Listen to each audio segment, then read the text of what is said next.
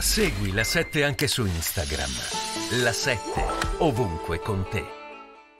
Per molti anni la guerra nel Donbass è stata chiamata crisi, conflitto a bassa intensità, pur di non fare i conti con un conflitto che invece avrebbe per sempre cambiato la percezione di Europa in pace. Il Donbass, la vasta regione orientale ucraina che per anni è stato il traino del PIL del paese, da otto anni vede le linee del fronte sul proprio territorio, con popolazione sfiancata, obitori pieni ed isolamento economico.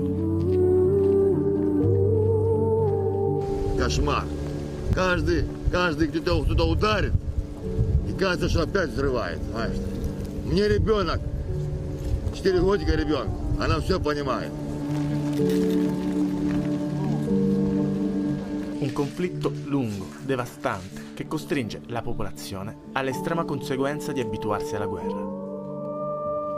In questi anni, come nei prossimi, ci saranno generazioni di bambini che andranno a scuola con cartelli che indicano come proteggersi in caso di bombardamento.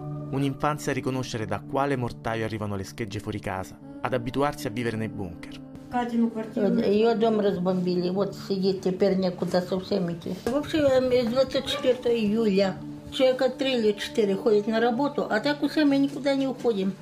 Мы только так выйдем вот на улицу, вот тут во дворе походим и назад.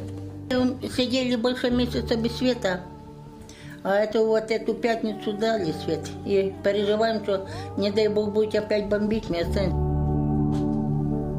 I beni di prima necessità scarseggiano e le case col tetto bucato resteranno così, come le infrastrutture un tempo luoghi di lavoro ridotte a maceria.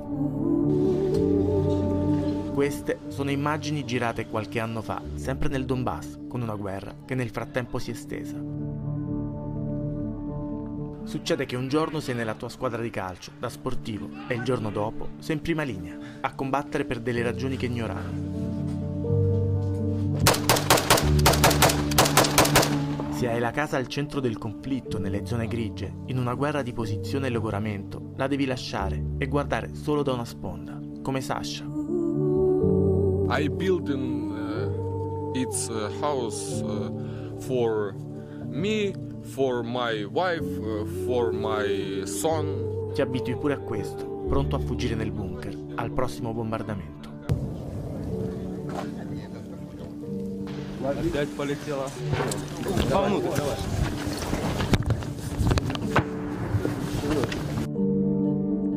Mi dai i numeri della guerra? E allora